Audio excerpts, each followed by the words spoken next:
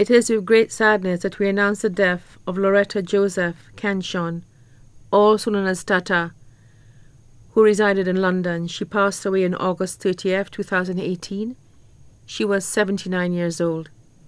She was predeceased by her son, Stephen Canchon. She left Timon, her common law husband, Joseph Agduma, also known as Joe or.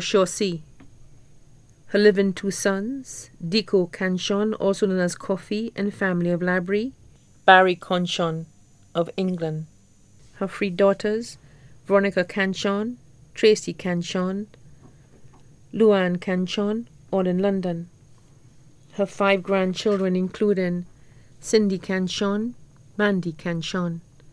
Her two brothers, Williamson Canchon, Ignatius St. Helen, both of Harrell Estate, Labrie.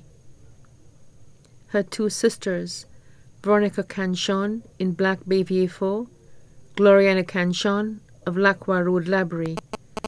Also left to mourn Auntie Catwin, Cousin Joe's family, Mrs.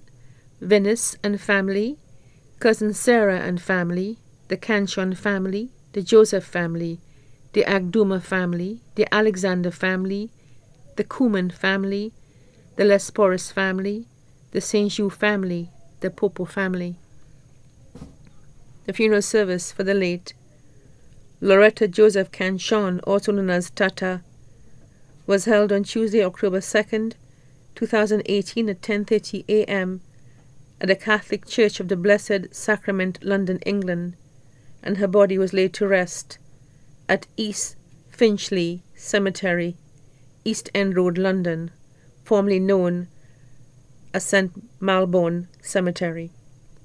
May her soul rest in perfect peace.